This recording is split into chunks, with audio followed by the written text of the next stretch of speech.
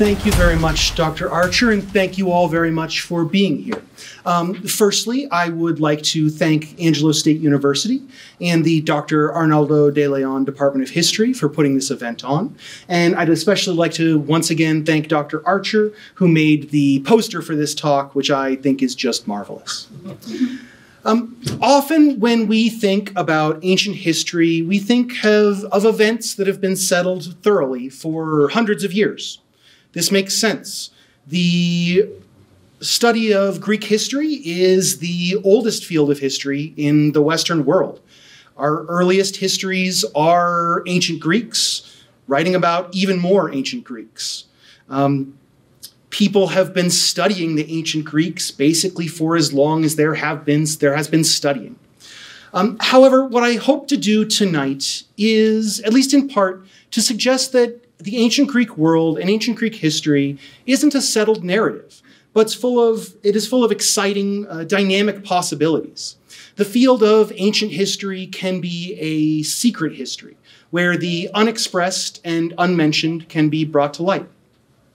Uh, my goal for this talk is to excavate the lost voices of the ancient world, to find the stories of a people who have largely been marginalized in the chronicle of ancient Greece.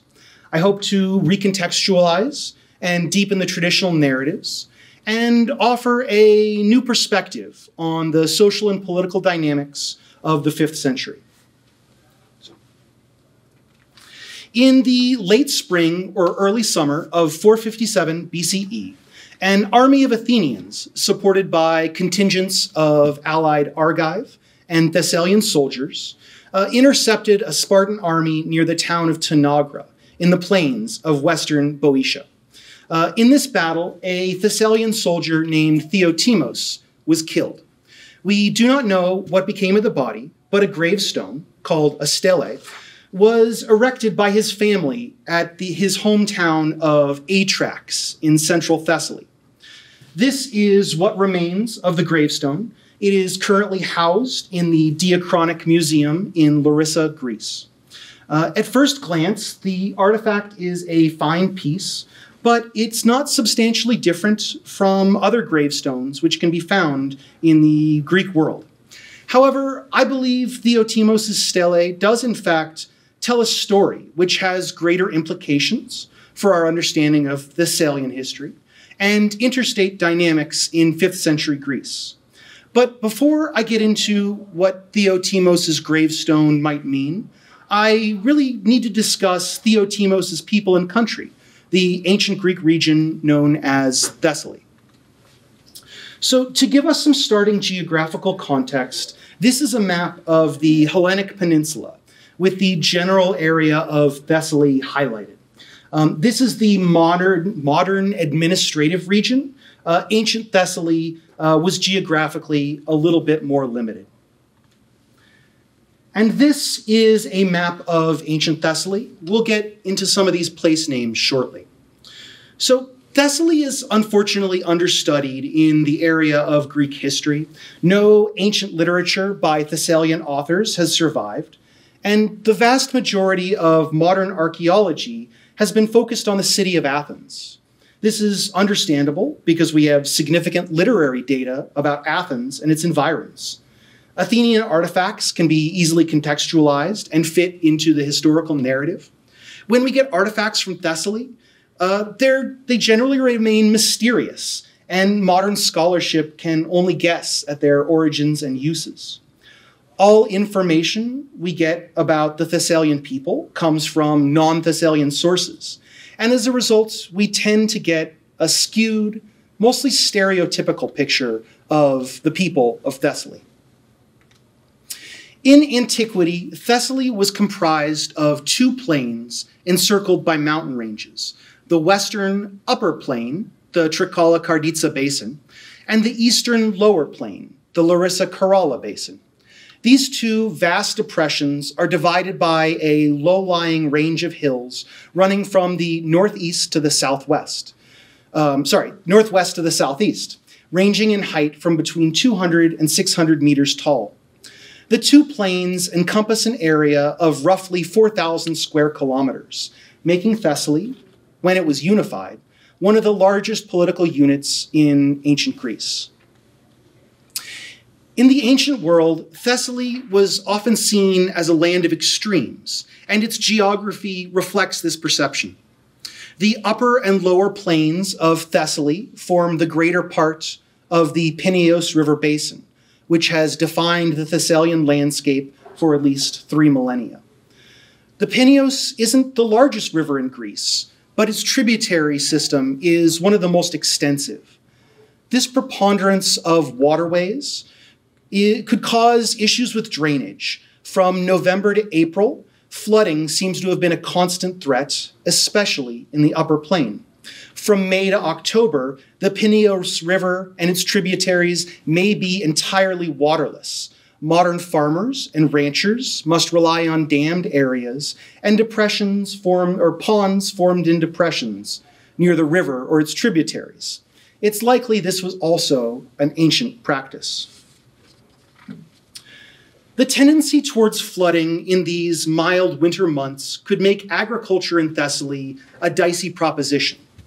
While Thessaly was still regarded as some of the best agricultural land in Greece, extant sources suggest that the raising and herding of livestock was the primary industry.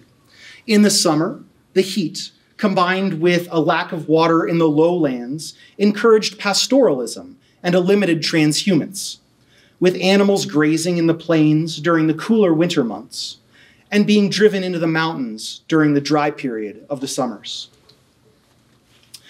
The Greek world was aware of the quality of Thessalian animals, especially the horses, and the trade in these animals was highly lucrative. Alexander the Great's horse Bucephalus was Thessalian, named for the Bucephalus or ox head brand on horses raised in the city of Pharsalus. It's a little bit like naming your car Ford. Um, records kept by Athenian cavalrymen suggest that Thessalian horses were a luxury item. The value of mounts, branded with the double axe of Pherai, or the centaur of Larissa, were two or three times greater than the local Athenian breeds. The very early history of the Thessalians is unknown.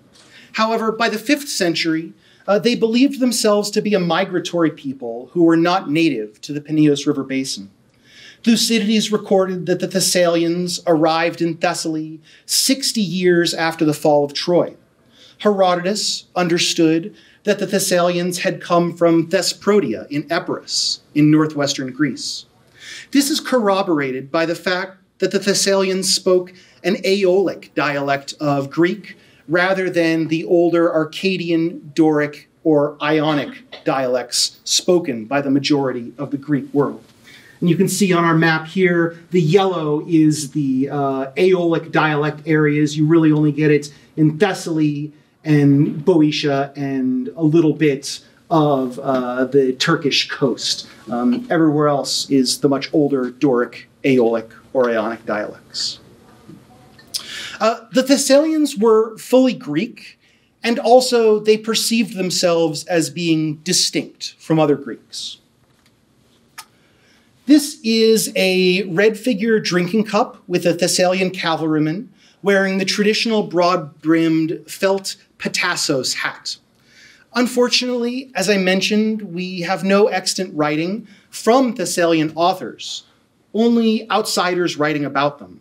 So as such, we must take descriptions of Thessalians with perhaps more than a grain of salt. Ancient Greeks loved stereotypes far more than any notion of historical accuracy. According to outsiders, the Thessalians were rich, shiftless, uncultured, and greedy. They were prone to factionalism and infighting. The vulgar richness of Thessalians was the butt of jokes for Athenian com- comedy writers who evoked images of Thessalian aristocrats eating at tables piled high with meat and drinking enormous quantities of wine. The richness of Thessaly made, uh, made it a land where social boundaries and borders were blurred or non existent. The Penestae, the unfree class in Thessaly were so wealthy that other Greeks complained they could mistake them for free citizens. When Athenian philosopher Socrates, on death row for corrupting the youth of Athens, when he was offered a chance to flee to safe haven in Thessaly, he rejected it outright. What will I do except feast in Thessaly? He said, as if I was there for a banquet. It was better to drink poison as a respectable city in Athens than wine as an indolent gourmand in Thessaly. Thessalian coins uh, are minted fairly late in the Greek world. Specie from Thessalian mints only begins appearing in the 5th century. On Thessalian coins, we tend to find horses and bulls, images of barley and wheat, Thessalian heroes such as Jason of the Argonauts fame, and local aspects of the Athenian pan, or sorry, the Olympian pantheon, such as the war goddess Athena Itonia. While many cities had their own mints for their own coinage, we do find pan Thessalian coinage, such as the coin on our uh, right here, which uh, historians and numismatists believe were made to represent the uh, Thessalian federal government. The philosopher Aristotle wrote treatises on the constitutions of a number of Greek polities, including Thessaly, but only his work on the government of Athens has survived. What modern scholarship knows about the structure and function of Thessalian government is limited. Much of our reconstruction is based on educated guesswork and inference. By the 5th century, the Greeks understood that Thessaly was a federal state, divided into four administrative regions called tetrads. Euripides' play Alcestis, and I have the passage here on our left, set in Thessaly, clearly identified the political institution of the tetrads. Ancient Greek uh, drama was set in the idealized past, and for an Athenian writer to include the tetrad system indicates that the Greeks understood the tetrads to have been part of Thessalian governance for generations.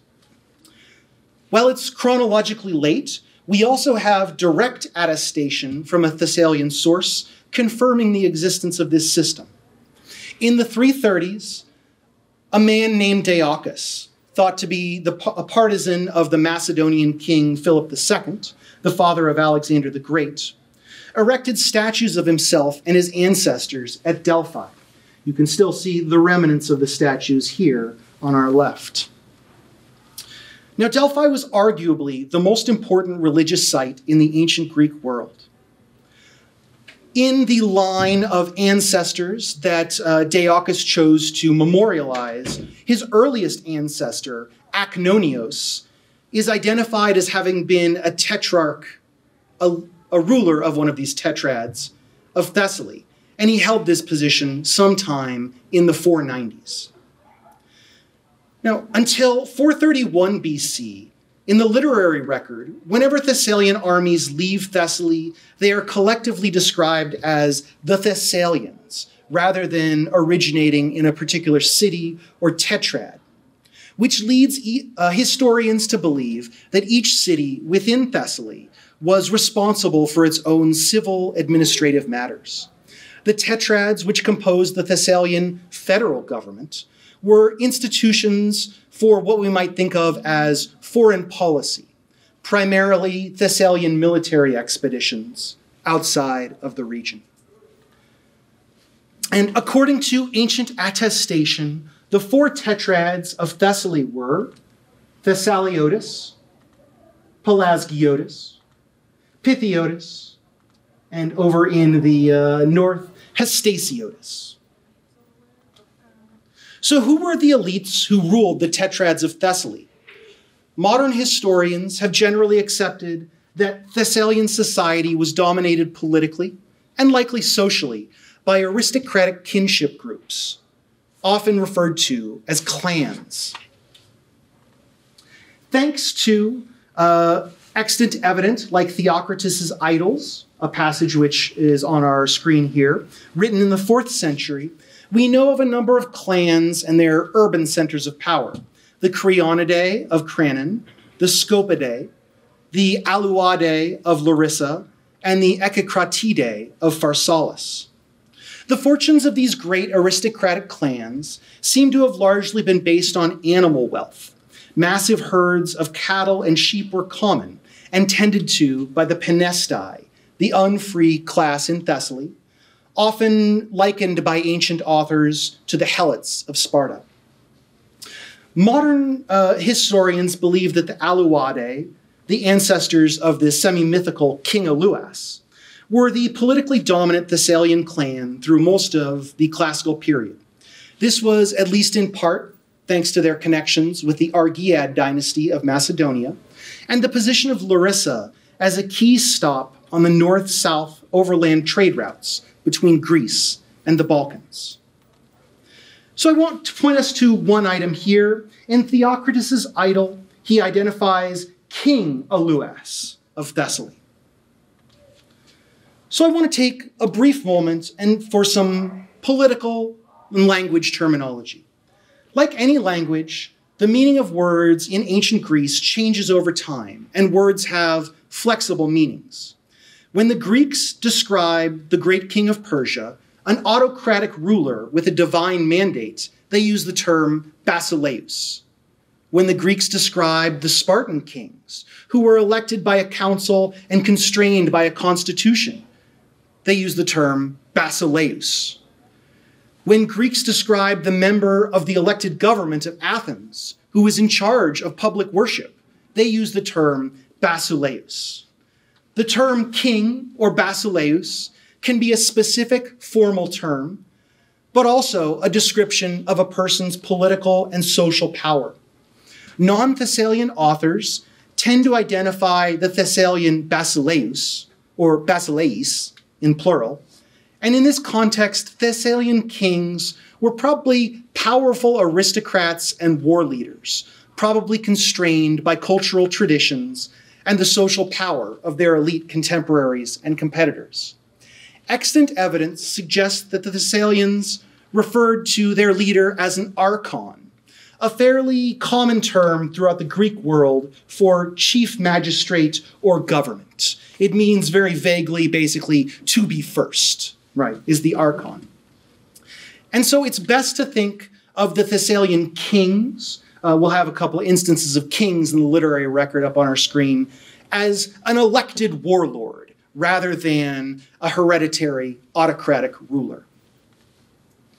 So, the first verifiable entry of the Thessalians into the world of Greek interstate politics though I would love uh, to talk about the mytho historic First Sacred War another time, comes in 511 BCE. So, back in 546, Athenian tyrant Pisistratus, Pisistratus took power for a second time in Athens. According to Herodotus, he did so by driving a chariot through the city, accompanied by a woman dressed up as Athena, convincing the credulous Athenians that he had divine backing for his power grab. But by 511 BCE, Pisistratus' son and successor, Hippias, was in an unstable political position, threatened by a restive Athenian population and menaced by a Spartan army intent on liberating Athens. The Thessalian Basileus, Cineas, led an expedition of Thessalian cavalry to support Athens.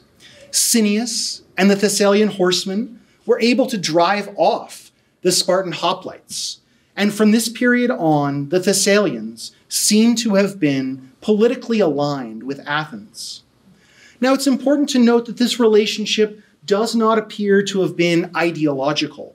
The Thessalians supported Athenian autocracy as well as Athenian democracy. So, the historical record of ancient Greece is spotty and filled with omissions. Ancient accounts convey that sometime in the late 6th or early 5th centuries, the people of Phocis fought a series of night battles with the, with the Thessalians. Phocian victories in this conflict ended Thessalian hegemonic domination over Phocis in central Greece. Now, you might be asking yourself, when did this hegemonic project begin? Or why were the Thessalians intent on making Phocis a tributary state? Or how did this political domination function? The answer to these very reasonable questions is we have no idea. None of the extant evidence gives any information as to the shape or form of the Thessalian imperial project in central Greece. But whatever the character and duration of Thessalian imperialism, the conquest of Phocis and the subsequent Phocian rebellion against the Thessalians had a significant impact on the political dynamics of Thessaly, Phocis, and central Greece. The end of the Thessalian imperial project weakened the political dominance of the Aleuad clan in Thessaly, pushing them to look for external allies to shore up their internal political position. The blow to Aleuad prestige also disrupted elite consensus in Thessaly, creating an opportunity for Thessalians unhappy with the rule of the Aleuadae to envision a new political and social distribution of power. From this point forward, political legitimacy in Thessaly rested on the ability of those in power to punish the Phocians for the temerity to resist imperial domination. On the part of the Phocians, undermining Thessalian policy and damaging Thessalian prestige was a consistent political priority. The Greeks were not the only power in the Mediterranean. Established in 550, the Persian Empire stretched from Pakistan to Turkey, Egypt to Uzbekistan.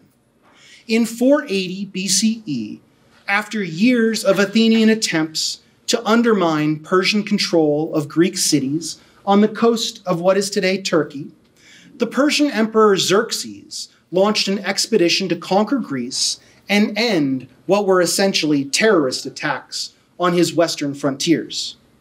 Well, some in Greece saw this as the end of the world and the end of Greek liberty, though you might ask a Greek woman about the much vaunted freedom of the Greeks. The Thessalians saw the entry of the Persians into mainland Greek affairs as an opportunity to reassert their power over central Greece. A secret alliance between the Persians and the Thessalians was orchestrated by the Aleuad clan in Larissa. However, the, in this episode, we see the cracks in the ruling consensus of the Thessalian elite. When the plans of the Aleuadae were discovered, a dissident group of Thessalians, though we unfortunately don't know who, sent an embassy to the southern Greeks who were preparing to resist the Persian invasion. They managed to convince the Athenians and Spartans to send a massive army to meet the Persians at the Vale of Tempe, a river valley conveniently located only a few miles from the Aleuad city of Larissa. The Athenians and Spartan army arrived in Thessaly, but after only a few days, the expedition leaders lost their nerve and the army fled southward, allowing the Aleuadae to dictate Thessalian policy. Upon the arrival of the Persian army in Thessaly, the Aleuadae sent messengers to the Phocians, demanding a massive bribe in exchange for not leading the Persians through Phocian territory.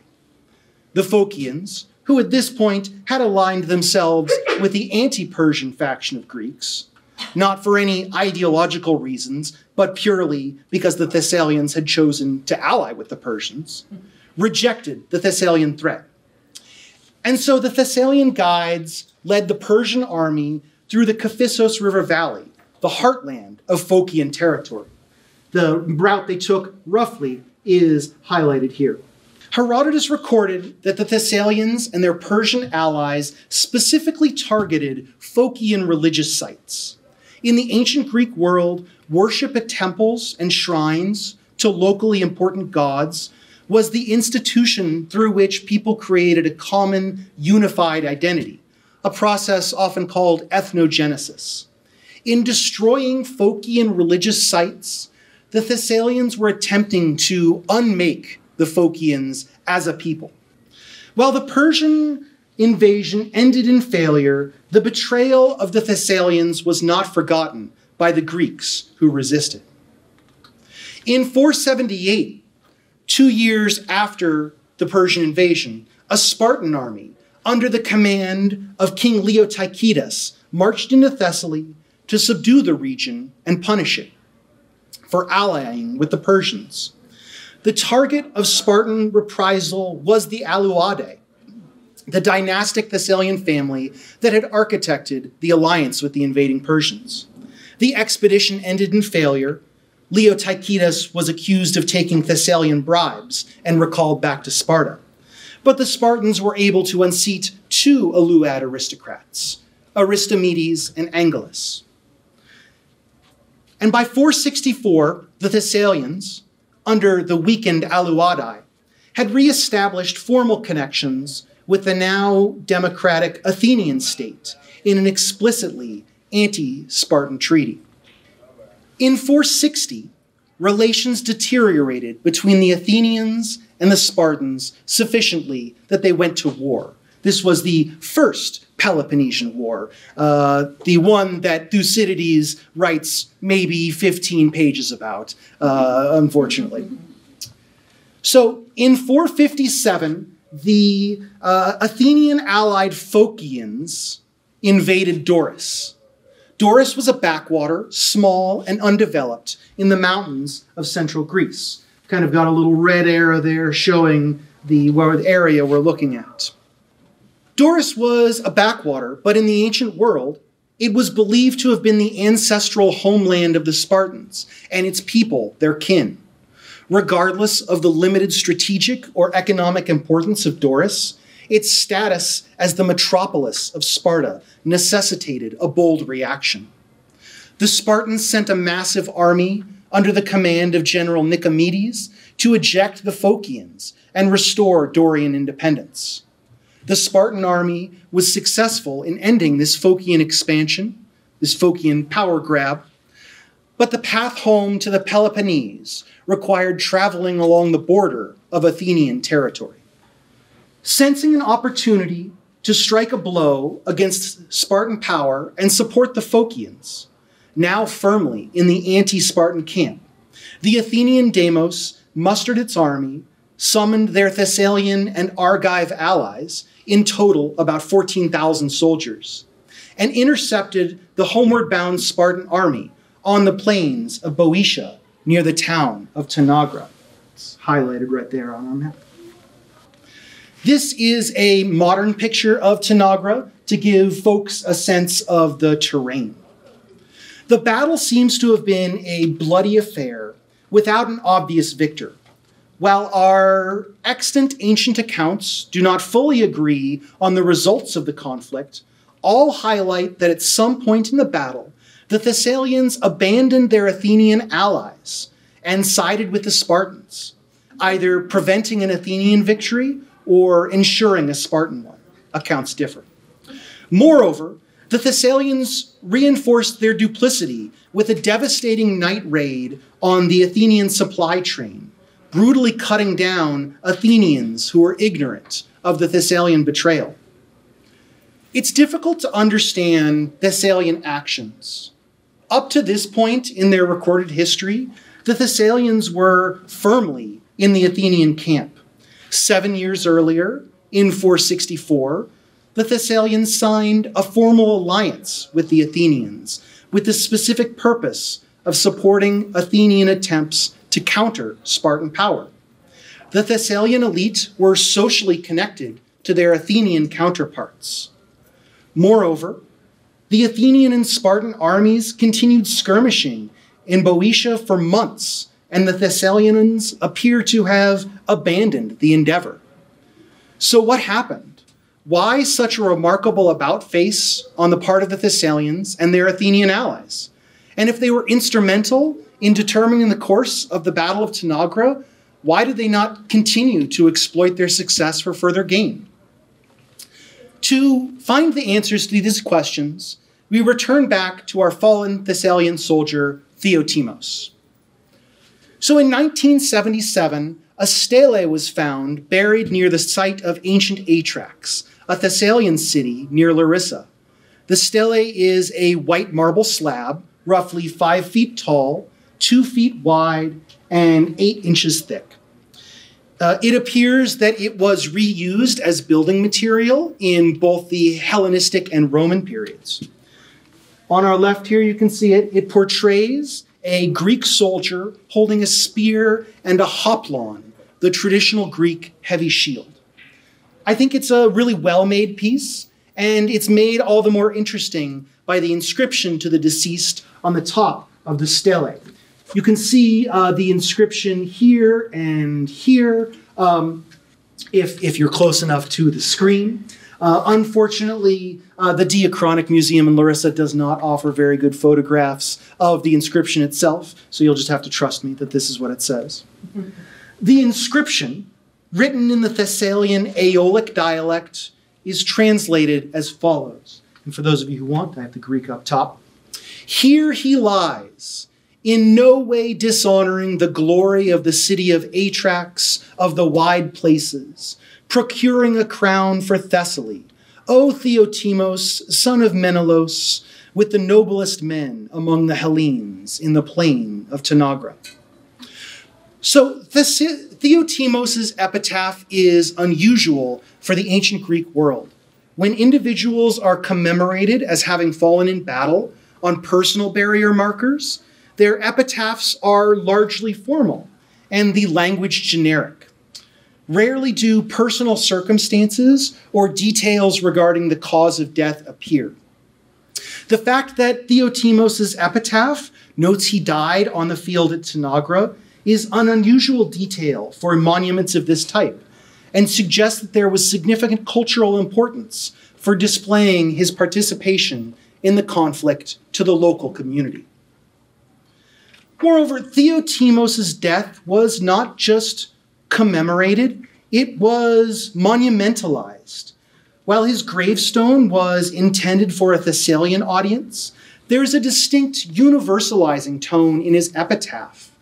Theotimos was one of many Greeks at Tanagra, and his martial glory was not applicable just to Atrax, the town he was from, but to all of Thessaly itself.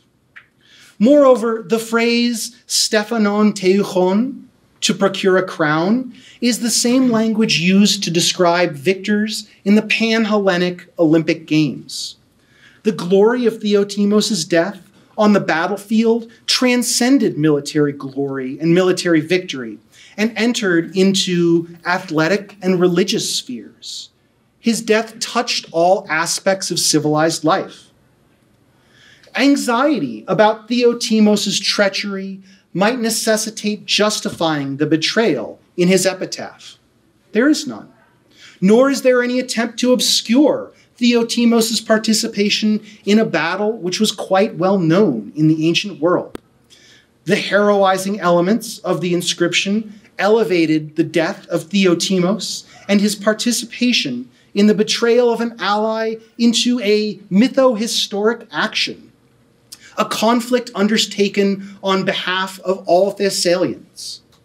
This strategy points to a desire to shift the focus of Theotimos' actions away from the death of the individual and portray Theotimos, uh, his actions and death as as and as sorry, um, and portray Theotimos as a whole as the and Thessaly as a whole as the beneficiary of the actions of Theotimos and his compatriots.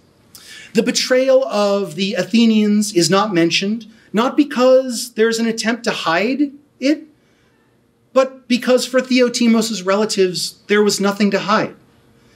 Taken by itself, the Theotimos stele is an interesting curio, but when examined in context with other pieces of material evidence and literary evidence, a new possibility for Thessalian politics in the 5th century begins to emerge.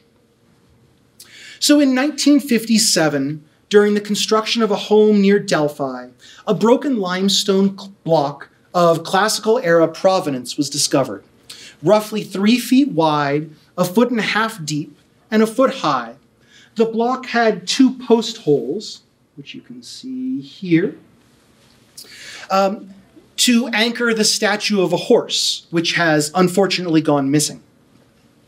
Carved into the face of the monument is a dedication which was published by Georges Daux in 1958.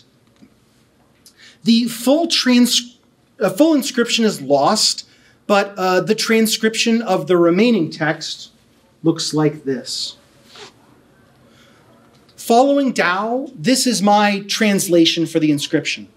The Thessalians gave the horse, the statue, and a tenth of the spoils from Tanagra at Apollo, when these were the polemarchs. And these were these folks, these seven or eight folks, were the uh, polemarchs at Tanagra. While this inscription lasts the heroizing verbiage of Theotimos' gravestone, what is particularly interesting about this monument was its placement at Delphi, one of the most important religious sites in mainland Greece. Whereas Theotimos' grave marker was meant for a Thessalian audience, this monument would have been visible to the thousands who visited Delphi every year. It was designed with a wider Greek audience in mind. Certainly, Athenians would have seen this monument. Yet, as with Theotimos' stele, the Thessalian dedication at Delphi displays no anxiety about the betrayal of Athenians, nor does it try to obscure that the dedication was the result of Thessalian actions at the Battle of Tanagra. Additionally, this is the first mention in the historical record of a Thessalian polemarch, a military office which was well known throughout the Greek world but lacked attestation in Thessaly prior to this period. What was this position? And why was it highlighted rather than the more well attested offices of the Tetrarch, Archon, or Basileus? It would be tempting to conclude that the Thessalians were able to publicly promote the betrayal of an extremely powerful ally because the Battle of Tanagra was insignificant. However, this is not the case. After the Battle of Tanagra, the Athenians set up their own monument in Athens. Now, this monument did not commemorate Athenian dead, but rather listed the names of all the Argive soldiers who died fighting for the Athenians at Tanagra. This monument, seen here, which unfortunately appears to have been fully fragmented, would have been four feet wide and eight feet tall and erected in the public cemetery in Athens. Like all Greeks, Athenians were extremely jealous of their status as citizens and hesitant to promote the deeds of outsiders. For the Athenians to commemorate the dead of their allies with a monument in an Athenian public space indicates the importance of this battle. It was well known throughout the Greek world. In 454 BCE, three years after the Battle of Tanagra, the Athenians launched an expedition to return the exiled Orestes, son of Thessalian Basileus Echecratidas, to power in Thessaly. Unfortunately, this brief passage from Thucydides is the only extant information we have about the event. Neither Orestes, son of Echecratidas, or Echecratidas himself appear elsewhere in the historical record. The Athenian expedition to install Orestes went as far as the city of Pharsalus, highlighted there, but was harried by Thessalian cavalry until it was forced to abandon the mission.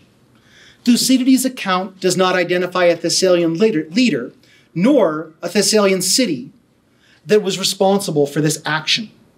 This suggests that guerrilla resistance to the Athenian expedition had the backing of the Thessalians as a whole. Furthermore, Pharsalus is, for the Greek world, far from Atrax, home of Theotimos. These cities are understood to have been in different tetrads. Atrax is in Pelasgiotis, and Pharsalus is in Thessaliotis, and so theoretically administratively siloed from one another. Why is this important? Well, if Atrax and Pharsalus are distant from one another in different administrative regions, and Pharsalus was the target of Athenian reprisal after the Battle of Tanagra, then this indicates that the Athenians perceived the responsibility for the Thessalian betrayal at Tanagra was collective rather than limited to one city or one area within Thessaly. This also supports assertions made by Theotimos' gravestone and the dedication at Delphi that the Thessalians as a whole, or at least some form of the majority, supported Thessalian actions at the Battle of Tanagra and the betrayal of the Athenians. Whatever caused the betrayal at Tanagra was not limited to a subsection or subset of Thessalians. So Thessaly disappears from the literary record for the next two decades, but reappears in 431 when Thucydides recorded that the Thessalians sent an expedition to support the Athenian democracy against a Spartan invasion, much like they had 80 years early, earlier to support the Athenian tyrant Hippias. One key element stands out from this account. The expedition is not just composed of the Thessalians, but contingents from individual cities are identified. Not only does Thucydides highlight the fact that the expedition was composed of contingents on a city by city basis, but there were two different groups from the city of Larissa, each led by different commanders. Moreover, there does not appear to have been a central leader like a Basileus. Instead, the expedition, expedition was likely a coordinated affair whose course was determined by some form of council. Ultimately, Thucydides elected not to elaborate on this situation any further. However, the fact that for the first time, and one of the only instances in extant literary record, the Thessalians were operating as a clear and visible group of individuals. So, what should modern audiences make of all of this? Right? The Thessalian government agreed to a formalized treaty with Athens in 464 to shore up its political support within Thessaly, then betrayed its ally in one of the bloodiest and most important battles of the decade, and then neglected to support their new Spartan allies, and allowed citizens to erect monuments to this betrayal, both inside and outside of Thessaly. And when the Athenians launched a reprisal expedition in 454, the Spartans did nothing to support the Thessalians who helped prevent an Athenian victory. Well, we not, cannot say for certain, I argue that the literary and material evidence points to a political and perhaps social revolution in Thessaly, likely precipitated by the Battle of Tanagra a revolution which is unattested in the extant historical record. Presiding over the end of the Thessalian hegemonic, and, hegemonic project in central Greece, made spectacular by the night attack of the Phocians, the Aleuad, uh, Aleuad dynasty in Larissa had its prestige and ruling mandate undermined. And we see a shattering of elite consensus in Thessaly. When the Persians invaded in 480, the Aleuadai saw the opportunity to rec- recruit a powerful new ally and reassert their, reassert their political legitimacy through the destruction of Phocian communal religious sites. Dissident Thessalians attempted to stymie Aleuad plans by aligning themselves with the anti Persian faction of Greeks. The initial de- decision to stage the Greek army only a few miles from the Aleuad city of Larissa cannot have been an accident. Despite the failure of the Second Persian invasion and the expedition of King Leotychides, Aleuad political authority was not eliminated, And in 464, the Aleuadai saw the opportunity to align themselves with an expansionary Athens in the hope that powerful allies would help tamp down upon on unrest amongst the tetrads of Thessaly. As part of this alliance, the Aleuad dominated government sent a contingent of cavalry to Tanagra in 457 to support Athens against the Spartans. The Aleuadai presided over the loss of Thessalian Empire to Phocis, backed the losing side of the Persian invasion, and now wanted Thessalian warriors to fight the Spartans, who had just prevented the hated Phocians from expanding. These were the people the Thessalians should fight and die to prevent from going home. It is impossible to know if the Thessalian cavalry planned ahead of time to betray the Athenians, or if this happened organically during the Battle of Tanagra. The fact that, this, this, that the Thessalians ceased participation in the First Peloponnesian War after the battle indicates that the conflict between Athens and Sparta was ultimately of little interest to the Thessalian people. What government would allow its citizens to publicly memorialize undermining foreign policy, both internally through the Stele of Theotimos, or publicly at Delphi, one of the most heavily trafficked sites in Greece? The existence of these monuments, in conjunction with the literary record, leads me to conclude that the government in Thessaly prior to the Battle of Tanagra was not the same government after the Battle of Tanagra. If Thessaly was racked by revolution against the Aleuadae in 457, this would explain the lack of further Thessalian involvement in the struggle between Athens and Sparta. It would also give context for the Athenian attempt to install their exiled puppet ruler Orestes in 454, and offers a possibility as to why Orestes had been exiled in the first place. Furthermore, this would explain Thucydides' account of the Thessalian expedition of 431. The Thessalian tetradic government, dominated by the Aleuadae, had been overthrown, and a government represented or organized along the lines of city or polis had been instituted. So, what does this mean for the ancient Greek world? When I began my talk, I mentioned uh, a secret history, expressing the unexpressed. And to my mind, this is the most exciting part of the study of the ancient world, examining the blank spaces and finding something new. Lux ex nihilo. The Thessalians betrayed the Athenians at the Battle of Tanagra not as part of an ideological struggle between Athenian democracy and Spartan oligarchy, but as the result of internal Thessalian political and social dynamics. I believe this to be the case not, not because it has been directly attested to, but because events before and after the battle paint a clear picture of a people in, in upheaval fighting amongst themselves for political control of their country. The glory associated with Theotimos' death was not simply the glory of war, achieved through the destruction or rout of an enemy. His actions at Tanagra were not the betrayal of Confederates, but the refusal to fight for a frail Aleuad government that would indirectly support an ancient enemy. Thessalian treachery at Tanagra was not duplicity, but a violent spasm of a people overthrowing the old political order and building something new. Theotimos died a soldier of the revolution. Thank you all very much.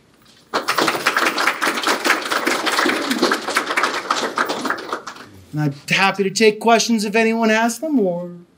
Yeah, do you have any questions?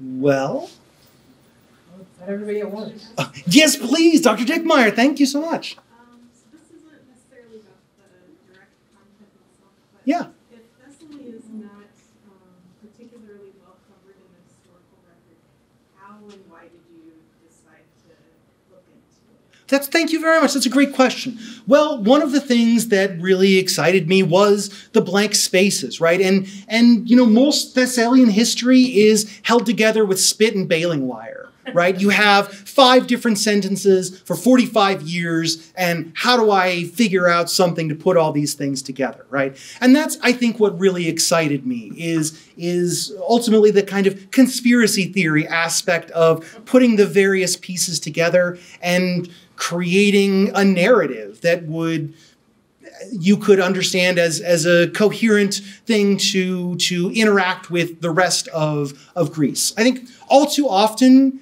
in, in ancient Greece, and especially the classical period, we see kind of the grand narrative of the Persian invasion, Athens against Sparta, and then Sparta against Boeotia, and then Alexander the Great, and it's all done, right? And that's that's kind of like saying the history of the United States is Los Angeles and New York and a little bit of Chicago, right? There's just there's so much going on elsewhere that interacts, inter influences what's happening with kind of this grand narrative. And that's what really drew me to it. So I apologize. That was a long walk for that, but thank you. yes, please. Uh, was dressing up as gods not like a desecration? Like, was it legal or? Uh, it's only a problem if you don't take power. If you do take power, you're good. Um, yeah, I, I, that's a great question, and I, I wish I had a good answer. It really does seem like it, shouldn't it? Doesn't it? But apparently it was okay. Well, you said that was in Athens, right? Yes. So he's just like dressing as Athena in Athens does seem to add an extra level of. And apparently it was, uh, according to Herodotus says, it was just some Athenian woman he chose, like from the countryside, because she was very tall, so people would see her more easily. like that's that's as far. Yeah, it's it was a pretty hackneyed plan, but somehow it worked. Yeah. Thank you, Dr. Yeah, I'll give you a, a softball. I hope. Oh, I hope so. Um, so the original stele itself that you have the picture of back at the beginning. Yeah. Let's see if I can find it. Uh, there we go. Yeah. Um, in its original context, would these have been painted? Do we know? Because there's a pretty big blank space on there. Yeah. It, I don't know if there'd be like cool designs on the shield. I, I, as far as I am aware, I, I have a limited knowledge of um, sort of that that area of material evidence. But yeah, it absolutely would have been very brightly painted for everyone to see. Um, and the uh, inscription probably would have been painted on as well as directly incised into the uh, into the stele. So while the uh, actual inscription is like at the very top of this thing, probably it would have been painted on on his shield or on the back of the the gravestone. Fabulous question. Thank you. Yes, please, Dr. Archer. I have one that you may not know the answer, and I apologize Not at if all. this is the case.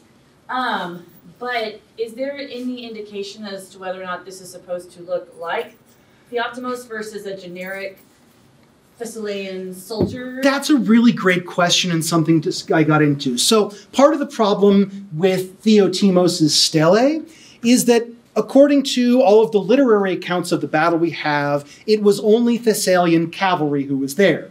This guy is clearly not riding a horse, right? So, either the literary record is is wrong, or um, it's very possible, and we know this happens in other areas of ancient Greece, because gravestones are incredibly expensive.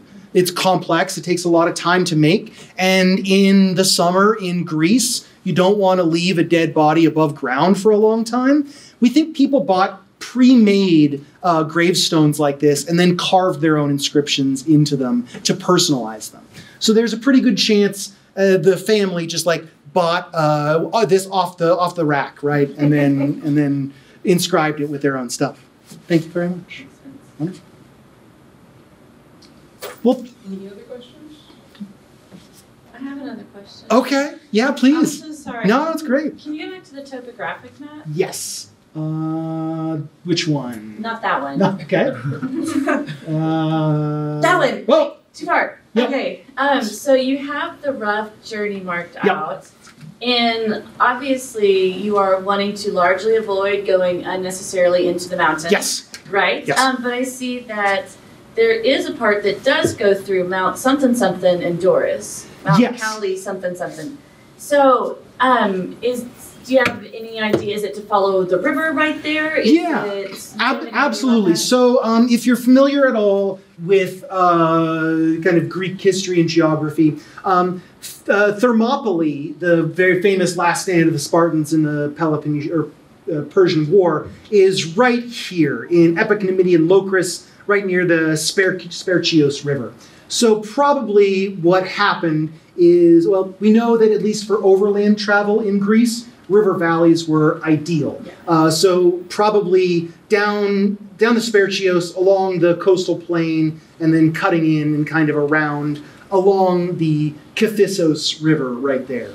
Um, Phocis was, as I mentioned, most of the cities and settlements are all uh, along the Kifissos River, and so that was that was kind of their path. Thank you for asking. It's a great question. Wonderful. Yes, please. Just kind of a j- curious. Yes. Have you gotten any pushback from other scholars from kind of the time period that that you're in that are like, why would you talk about this, or or disagree with your timeline? That's a great question. Luckily, um, there are not many folks who really do Thessalian history. Like, for example, the big books in the field. Uh, one was written in 1935. The other one was written by uh, an Italian woman in the 1950s. They're both great books, but um, the vast. It's not there's really not a whole lot of people who do this sort of stuff. Um, I think there are certainly some areas where my methodology could be critiqued, and that's totally fair. Um, but you know, I think in terms of a, a narrative, this is ultimately the only one that really makes sense. It's it's a lot it's a lot of circumstantial evidence, but for me at least, I don't see any any other alternatives. Thank you for asking. Well, thank you everyone for coming. I really appreciate all of you being here. Um, I'll hang around if you have any other questions. Otherwise, thank you again for the to the Department of History for putting this on, and Dr. Archer, and yeah, have a great evening.